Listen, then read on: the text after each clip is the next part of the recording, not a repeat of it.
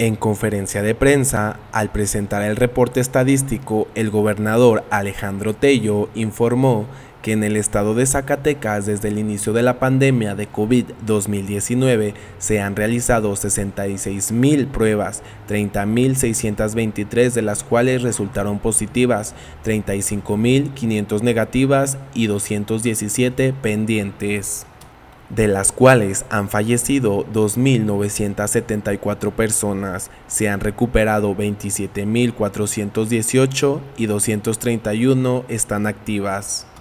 En las últimas cuatro semanas ha habido 497 contagios, con 18 en promedio diario, así como 39 decesos. De los 30.623 contagios, 14.855 son hombres y 15.768 en mujeres.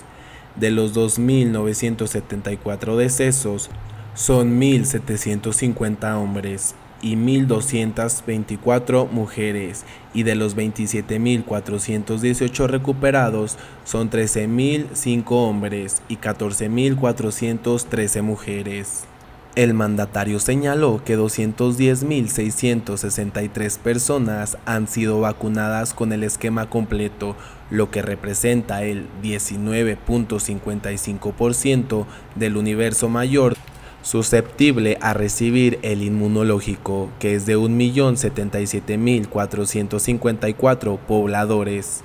Agregó que durante esta semana se terminará de vacunar a personas de 40 a 49 años en 15 municipios y continuará en los próximos días con la aplicación de la segunda dosis a quienes tienen 50 o más y luego a los de 40 a 49 años. Pasamos a semáforo verde. Hoy también Zacatecas está dando un paso importante después de mucho tiempo hablaba yo de 445 días, pues hoy precisamente estamos llegando a semáforo verde, algo que nos debe llenar de, sí, ilusión, pero también nos debe llenar de responsabilidad.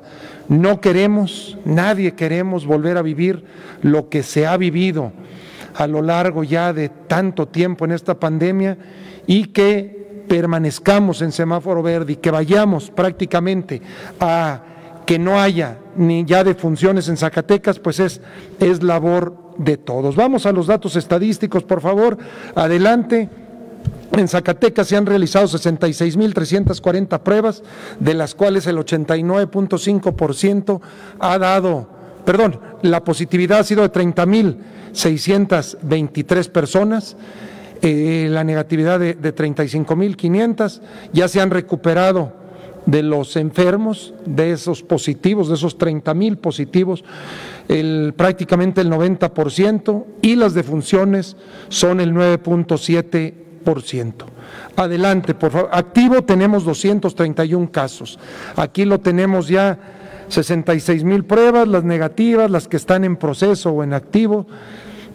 tenemos el porcentaje de positividad que ha tenido la entidad y cómo están las pruebas. Como podemos ver, en mayo y primera de junio, las pruebas realizadas han ido a la baja de manera muy considerable, de 988 a 694 y prácticamente 120 pruebas menos esta semana.